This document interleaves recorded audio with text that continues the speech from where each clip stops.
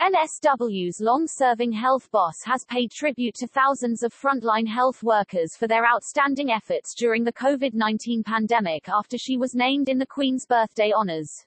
Dr. Kerry Chant issued a humble response after she was appointed an officer OW, of the order on Monday. The chief health officer has spent the last two years as the face of the NSW COVID crisis, navigating the state through the darkest days of the pandemic which included two lockdowns. During the 2021 Sydney lockdown, she fronted up to daily press conferences day after day to provide the latest health updates while urging everyone to get vaccinated. Dr. Chant said the honor was a tribute not for herself but the 140,000 health workers on the front line that kept the community safe during the pandemic. This honor is a tribute to my many colleagues in NSW Health for the outstanding work they have done and continue to do to keep the community safe throughout the COVID pandemic, Dr. Chant said in a statement. The commitment, resilience and innovation demonstrated by everyone involved in the pandemic response, from those in our public health units and laboratories to those on the front line in our hospitals, in the most challenging of circumstances, has been nothing short of remarkable. Their commitment to keeping each other safe has been central to any successful outcomes we have achieved.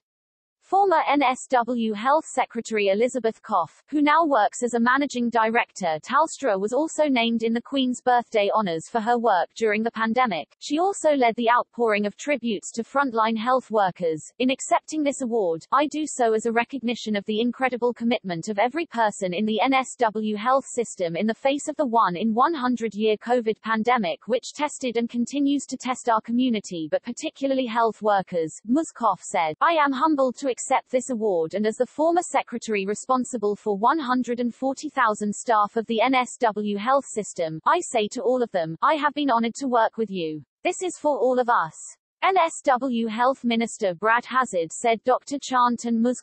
Have been rightly recognized. They committed themselves, heart and soul, along with then Deputy Secretary, now Secretary, Susan Pearce to lead a very committed NSW health workforce through the pandemic. These awards are not just for these incredible leaders but for the teams that went above and beyond to keep NSW citizens safe. Dr. Chant has been at the helm of NSW Health as the Chief Officer since 2008 and previously served as Public Health Unit Director for Sydney South West Area Health Service. She was among three top health officials officials overseeing Australia's COVID-19 response named in this year's Queen's Birthday Honours list. Former Chief Medical Officer Brendan Murphy is among eight Australians achieving the prestigious Companion AC of the Order. He was one of the nation's most prominent public faces of the initial pandemic response. Dr. Jeanette Young, appointed an AC, was Queensland's chief health officer for 16 years until 2021, and has since become the state's governor. The 992-person list recognizes people from a wide range of fields including sport, with the late Shane Warne posthumously appointed an OW. Recipients share some common traits, including selflessness, excellence and a commitment to service, Australian Governor-General David Hurley said. They're from different backgrounds, their stories are each unique, and each has served in different ways. This diversity is a strength and each has impacted their community and made it better. Collectively the recipients, whose achievements span community service, science and research, industry, sport, the arts and more, represent the very best of Australia.